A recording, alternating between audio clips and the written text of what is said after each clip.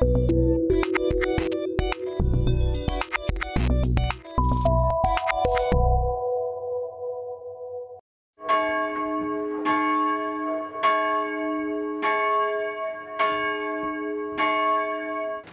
kezdődik, minden oktatási intézményben dolgozó pedagógus, gyermek számára. A Pedagógus Szövetség támogat benneteket szakmai, jogi tanácssal, ha szükséges ügyvéddel, és a magyar közösség is ott áll mögöttetek. De a csatában közvetlenül ti vesztek részt. Ti, igazgató, pedagógusok, igazgató helyettesek, akiknek helyben a járási oktatási főosztály főkönyvelőjével, vezetőjével kell tárgyalnatok. A Nemzetpolitika Államtitkárság programjai által kiemelten odafigyel az iskolákra, diákokra és pedagógus- pedagógusokra. Az elmúlt években több olyan tematikus programot indítottunk, amelyek a magyar nyelven történő oktató és nevelő munkát segítik. Hisszük és valljuk, hogy jövőnk zálogai a magyar gyerekek, a pedagógusok pedig ennek a jövőnek az építői.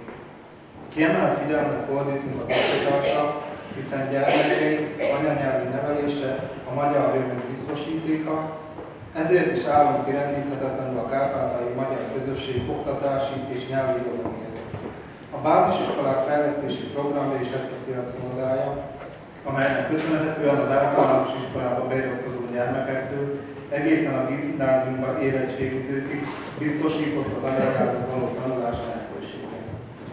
Mindemellett a nemzeti jelentőségű intézmények és nemzeti jelentőségű programok támogatásai keretében kiszámítható működési támogatásban részesítjük a Kárpátai Egyházi Liceumot, az oktatás és kulturális feladatokat ellátó civil és szakmai szervezeteket. Az elmúlt években a gazdaság, az oktatás és az intézmények fejlesztésével nagy sikereket értünk el, szolgálva a legnagyobb nemzetpolitikai célunkat, a szülőföldön való boldogulást, a közösségek megőrzését és megóvását. Szeretnénk a Kárpátalján élő emberek számára a legelemibb feltételek lennének biztosítva, ezért idén a magyar kormány az igényelhető szociális csomag keretén belül megkétszerezte annak összegét. ez a talégi ügynökség is ebben a fölött szempontban kerül sor. Köszönjük Önöknek azt a kitartást, amire nap mint nap biztosítják a magyar oktatás.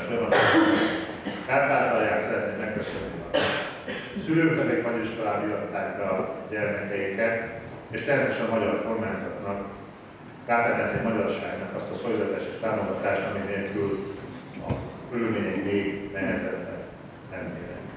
Bizakodjunk azonban a jövőben, és hát kívánok maguknak kitartást, türelmet a munkának, sok sikert és szeretet egymás iránt. Fogadják szeretettel őket.